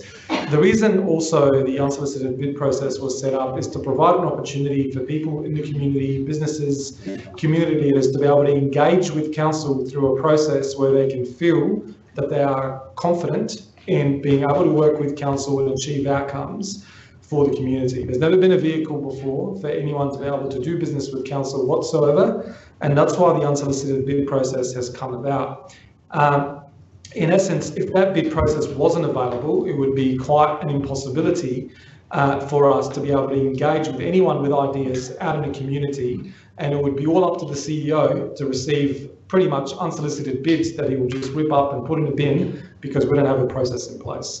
So first and foremost, that's why the unsolicited process occurred. Now, to the point and credit of Councillor Martin Simms and Moran around the unsolicited bid process, if any councillor would have thought at the time that that would have meant parklands are involved, I think all of us probably would have turned around and said, look, maybe excluding the parklands, maybe let's leave the parklands aside, there's something we need to assess on merit, etc., etc. But it was brought in as a business vehicle for people to be able to involve themselves with business of council and put proposals to council. Now, what we have before us today, as I see it, is absolutely nothing. There has not been a formal process at which a submission that has been made formal to this council whatsoever, as far as I'm concerned. Because the unsolicited, unsolicited bid process talks about an idea. That idea was presented yesterday to council and it was presented to council in line with council's guiding principles. Now, if that idea doesn't meet council's guiding principles, then there's every opportunity for council to knock that idea out of the ballpark and say we are not interested in doing business because the unsolicited bid process and also the guiding principles are not met as part of the design objectives and outcomes of that specific project. None of that has yet occurred. Council has not received yet a formal package with detailed design and detailed work answering at all to any of the guiding principles to council. I don't even know if they are met in detail. You can't even look at, at a, a, presentation and go, yep, you've met every box. I don't feel that potentially, uh, I don't know that. So where the community involvement is really crucial, if we are going out right now to Councillor Simms' point and Councillor Martin, and we are consulting on the community with the community purely on one concept that says, would you like to see a structure, any structure on the parkland? If that is the consultation, not crows, not anything else, that might be a valid point to discuss as part of that process. However, as part of an unsolicited bid process, it would be remarkable to go out to the community with a detailed package and a detailed formal submission that has landed on council's table where we can go out and engage properly with the community and receive the consultation it deserves. I think there are there is a mix up there and I think to your point it's very valid. Do we want to see something on the parkland? That is a consultation on its own and potentially there is a consultation on if it's the crows and there are guiding principles, what does that look like? Unfortunately to some council members, there is still a council decision which talks to a unsolicited bid process. And as long as the proponent is conforming with the unsolicited bid process and going through the steps, then they're not violating anything. Unless a councillor decides to move in the chamber to rescind a previous decision motion and stop this, that's a separate decision and that's a matter for council. But if that council was to support that decision, that stops in the tracks. If council doesn't support that decision, then I'm hopeful council members can respect the process of council and stick to this process and hopefully see an outcome. And I know we've all spoken tonight and we've spoken outside the recommendation currently because the recommendation talks about noting and noting. It's quite simple. I did allow that debate to happen because I think it's important for elected members to voice their concerns and opinion, being that this has been the first opportunity ever for us to chat about this in public. With that in mind, uh, I'd ask uh, Councillor Abrahimzadeh to sum up with regards to this motion and we look forward to debating this further in formalising that recommendation at Council next week. Thank you, Chair. Um, am I able to ask a question before I sum up? I prefer that you don't. just, just a very quick question. Um, uh, just, just to confirm, um, legally, can we consult right now? Yes. Legally? Through the chair, council consult at any time on anything, uh, but at the moment we have nothing to consult. So there's nothing to, to consult on at the moment? Consult on the concept. We can decide on what we sort out tonight. Um, uh, Chair, um, I know that every single one of us here tonight is in a difficult position and um, uh, we do have some uh, difficult decisions to, to make. And I think that's what leadership is about. I know that each and every one of us are held to account by our ratepayers. We're here to look after our ratepayers. We're here to, uh, to make sure whatever we do here in the city of Adelaide benefits them. Uh, I personally am looking forward to uh, some of this community consultation. And as a member of the public, if everything goes through with this proposal and if it is something that council decides to, to go ahead with, and if we do get a, uh, a new facility there, uh, I'll be looking forward to using that facility as a member of public. Oh, hang on. Thank you, councillor. With that, I put the motion to you. All those in favour? All those against? That is carried. Thank you, Tom. Uh, we'll move on to the next item, item 5.2, minor amendments to the development plan amendments. And um, that's item 5.2. Members, can I seek a mover, please, for that motion? Councillor Moran, pretty quick usually. I'm on strike. You're on strike, as long as you don't starve yourself. Uh, moved by councillor Knoll. Can I have a second, please? Second by councillor Renzer. Any discussion on that motion? Any questions from elected members? Thank you, Sorry, Shah. sorry, to keep you in mind. Councillor, Bra- uh, councillor Knoll, sum up? Summed up. I'll put that to the vote. All those in favour? All those against? That is carried. Members, we move on to item 5.3. The review of event noise mitigation standard operating procedures. That's again been an item that's come to council before. And I'd ask members again, um, I'd ask for a mover of that motion, moved by councillor Hyde, seconded by, by the uh, Lord Mayor. Councillor uh, Hyde would like to speak. Um, yes, I'd just like to thank administration um, uh, for revising uh, based on the feedback that was brought, uh, or that we that we gave um, uh, on the presentation uh, in July. So I think uh, I think this um, is a, is a very good outcome. Um, I think it'll be better for the residents in North Adelaide, um, of course, where we're dropping the decibelage. I think that'll make a, a very big impact on their on their quality of life because it's those extra decibels, those extra 5, 10 decibels, particularly that C weighting, as the report says, the bass, um, uh, that uh, that causes a lot of the issues. So um, uh, the focus is is on that, and of course not on curtailing um, events um, in the city. So uh, I think this is a good body of work. Thank you. Thank you, councillor. Lord Mayor, would you like to speak as a seconder? Um, thank you, uh, Chair. I, I, again, I'd uh, like to add my thanks to Councillor Hines and uh, for the work that's been done. Uh, it's a great piece of work. And uh, I also support the fact that uh, we will continue to enjoy a vibrant and culturally enriching, enriching Adelaide experience. Um, uh, it's, a, it's a good piece of work. Thank you. Thank you, Lord Mayor. Councillor Martin, followed by councillor Simms. Uh, A question first to the administration. In the original proposal, the administration recommended that there should be a cessation of amplified music. Um, What were the hours uh, that were recommended in respect of Pinky Flat and Pennington Gardens? Uh, Through the chair, um, the hours that we originally were proposing were to reduce Pinky Flat from three AM finishing time till midnight. And Pennington Gardens um, down to midnight also, From 3 a.m.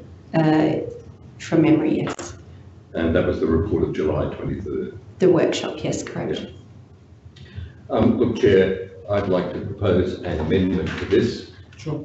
And it is uh, that the committee recommends to the council that the recommendations of the administration to council on July 23rd in respect of noise mitigation. So sorry, councillor, just give me a second. So are you um, amending uh, those one, two, and three? Correct. You are all of them? So you want them deleted? Yep. So delete one, two, and three? And you have a new recommendation? Uh, yeah, oh, just hang on a sec, uh, council amendment, so it will be considered as part of the final recommendation. Um, um, so one is, one is out, Lord Mayor, just one second, please, so I can get clarity. One is our recommendation to the committee on July 23rd. This is, one is replaced with this, the words that I'm giving you now. Yep. Uh, recommendations to, to the committee on July 23rd. And then, um, okay, committee workshop on July 23rd, if that's um, appropriate. Um, it was the administration report to which I referred. Councillor Martin, if you can finish your recommendation. Yep. No interruptions, please, until Councillor Martin puts his recommendation on the screen. Yep, I'm happy with two. So I don't And- understand the first part, councillor. So that council, that the. Oh, I'm sorry, thought it was finished. Yeah, yeah, that the recommendations to the committee workshop on, uh, the, the administration's recommendations. So councillor, we've got, it starts with that council, and then what's the word that you want to use there? Oh, okay. Adopts, adopts Yep, adopts the recommendations. the administration's Yep, recommendations to the committee workshop Yep. on July twenty-third, twenty nineteen, full stop will do. thank you. I'm happy with two, happy with three, unless the administration advises me that they're in conflict with one. Sure, so let's just see, let's see if you've got a, a mover there. So you've basically, just for the clarity of everyone in the room, so we've got a seconder of Councillor Land, but just so everyone's clear on what has been proposed by Councillor Martin, Councillor Martin has proposed, instead of noting the recommendations of the review of council event policy, he's requested that be deleted and that the new in red adopts the administration's recommendation to the committee workshop on 23rd of July 2019. Before I get councillor Martin to speak, um, does the administration have any remarks? Uh, Thank you, Chair. The challenges that we presented about in the detail pack, about 40 to 50 slides, this one, councillor, um, and we were asking at that workshop for feedback, which we have now incorporated into this paper as a recommendation for you to consider. So I'm keen to understand um, which elements of the 40 odd slides you, you want to see incorporated, Well, just absolutely everything. All, all of those, all of those recommendations are addressed in the subsequent report, which is there tonight, related to operating hours, relating to decibel levels, um, and yes, they're in there. Um, but but I'm So- happy to take councillor- advice. Councillor, yeah, thank you. So just to complete your advice there, Claire. My advice would be to shape a recommendation tonight which captures the concerns that you want to see back in the um, guidelines to go out to consultation. So if it's in relation to the operating hours of Pinky Flat, Yep. if it's in relation to the operating hours of Pennington. Pennington, and if it's just those two things, Light Square, Levers is, I'm not sure which elements. Yes, no, they're the only two. I'm Um, concerned so- about. Okay, so. And you'll replicate then the the decibel levels as well? What I'm asking from you, please, councillor, is to give me a recommendation tonight that I can work with administratively. All right. So councillor, just to assist you, being Yep. that this is on the fly at quarter to nine, this is Yes, coming to coun- understand. this is coming to council next week. Mhm. Would you like the opportunity to discuss this with administration in more detail and form a position? No, I'm, ha- I'm happy, happy to raise it now. Do you want to debate it today? Yeah, yeah, yeah. And if it is the administration's request that it makes more sense to leave it as it is Mhm. and simply say at the end of one, um, procedures, comma, with the exception of the proposed hours, uh, for, uh, Pinky Flat and Pennington Gardens, which will, uh, remain as per the recommendation, uh, at the workshop on July twenty-third at midnight. Would that be satisfactory? Can I get some clear answer on that?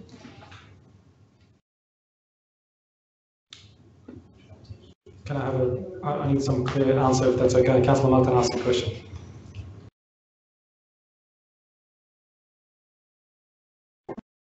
Um, through the chair,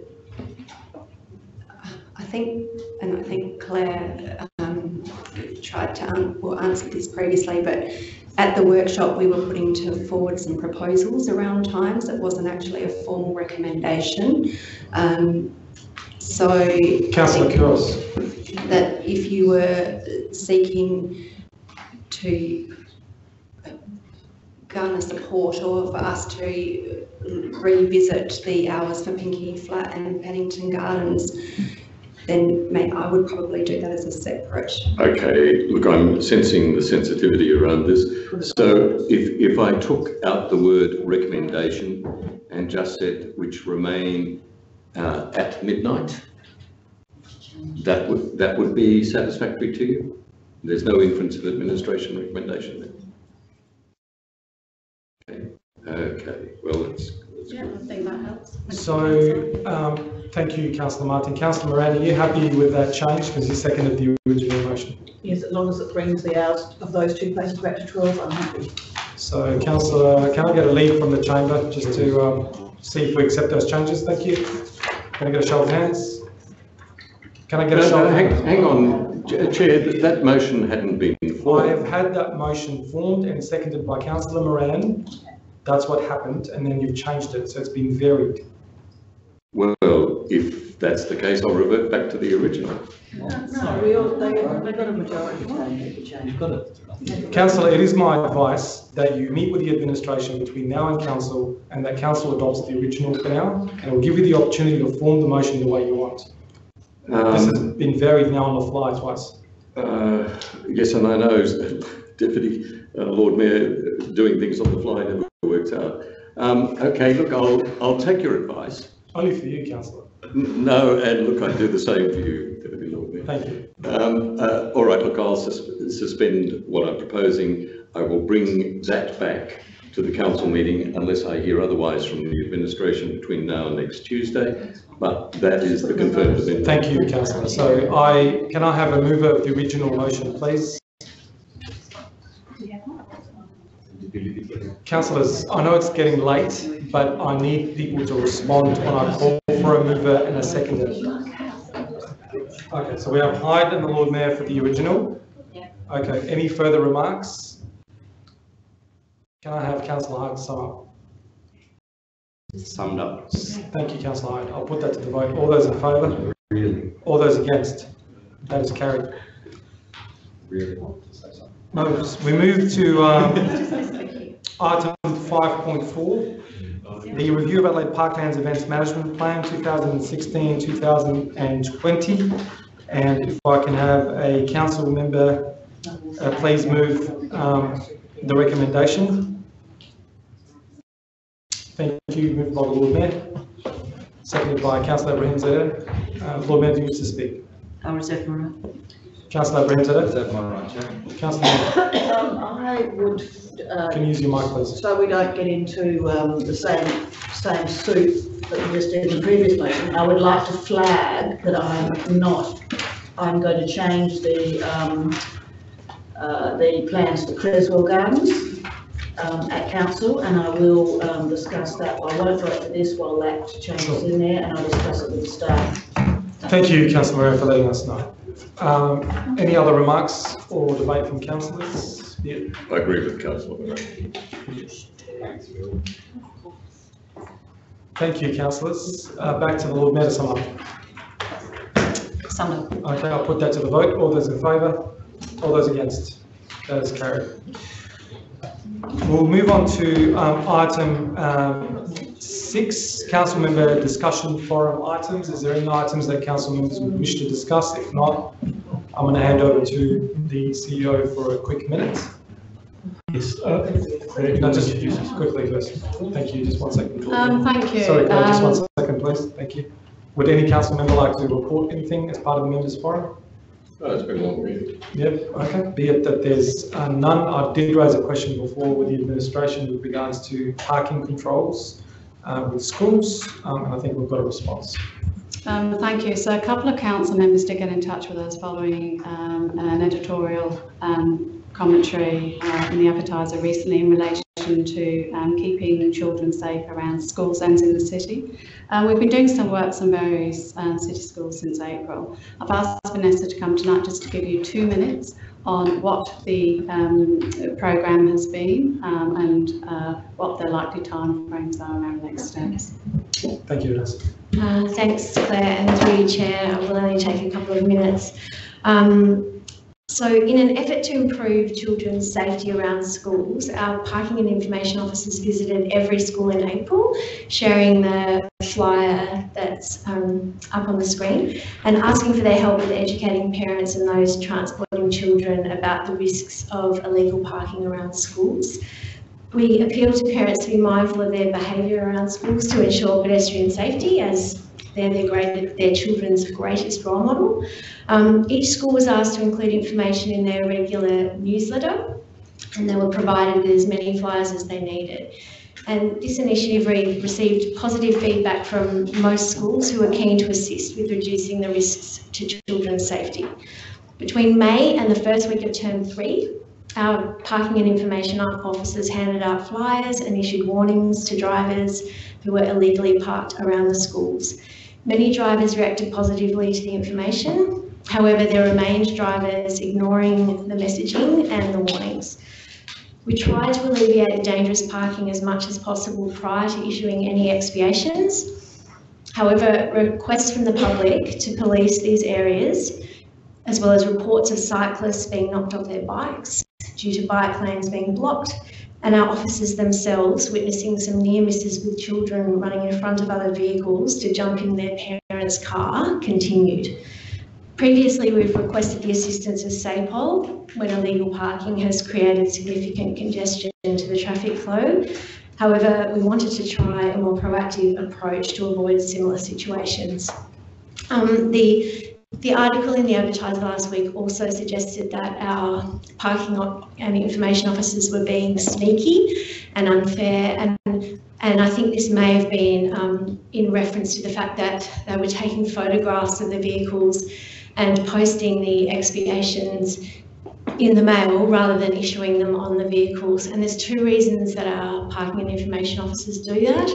Um, one is for, uh, well, they're both related to safety. So the first reason is many of the illegally parked vehicles were double parked in the road.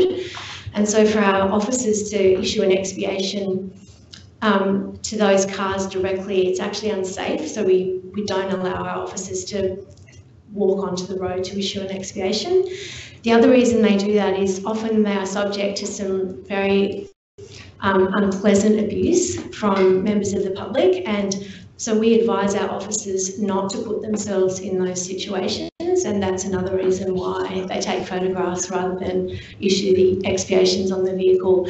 And, and I, I guess it's just worth reminding everyone that unless there's some sort of bizarre mistake, our officers only expiate illegally parked vehicles, not legally parked vehicles. And, and in and around schools, the, their responsibility is about monitoring the safety of, of the public, and we take that role really seriously. And I just wanted to, and, the fact that we were educating drivers for of months before we started issuing um, expiations, I, you know, I think people had plenty of warning. I, I, I don't believe that our officers were being sneaky, um, and they were actually quite visible. Um, that's the photograph in the in the newspaper. So I just wanted to assure members that we're, you know, we're taking an educative approach where we can, but sometimes we do have to issue expiations to to change people's behaviour.